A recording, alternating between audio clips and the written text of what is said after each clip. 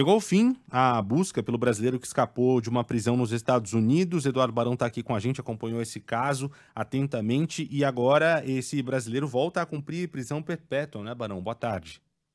É isso aí, Renan. Boa tarde para você, para o Frumento, para todo mundo aí no Brasil. A confirmação da captura foi feita inicialmente pelo rádio de comunicação interna da polícia na manhã de hoje. A prisão de Danilo Cavalcante põe fim a um pesadelo que durou 14 dias e deixou em pânico os moradores do condado de Chester, na Pensilvânia. Ontem à noite, o alarme de uma casa chamou a atenção é, dos agentes perto dali. O sistema de monitoramento térmico do helicóptero da polícia identificou calor é, numa região da mata. Os agentes seguiram a pista e na manhã de hoje o fugitivo foi encontrado por um cão farejador. Até mandei para o Arthur Couvre né, a imagem é, desse cachorrinho, é o Tucker, é o nome dele, foi o que encontrou o Danilo debaixo de uma pilha de madeira. Ele estava com um fuzil calibre 22 que roubou é, de uma outra casa, não reagiu, foi capturado pelos agentes.